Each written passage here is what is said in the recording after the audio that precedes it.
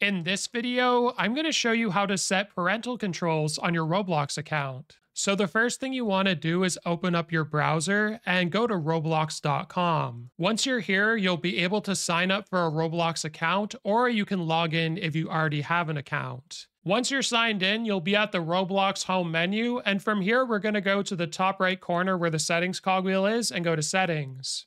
This is going to bring you to My Settings, and from here, we're going to go to Parental Controls. Now, this is where you can turn on the pin, and before you do that, you can also adjust the allowed experiences, so suitable for 9 plus, 13 plus, 17 plus, or all ages, and then go ahead and try and turn on this pin.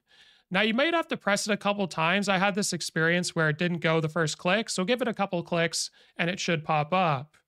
Now I'm going to create a four pin code, so let's go ahead and do that now.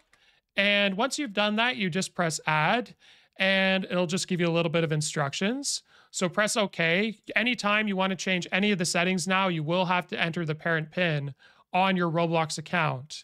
So hopefully this video was helpful. Like and subscribe, and we'll see you in the next one.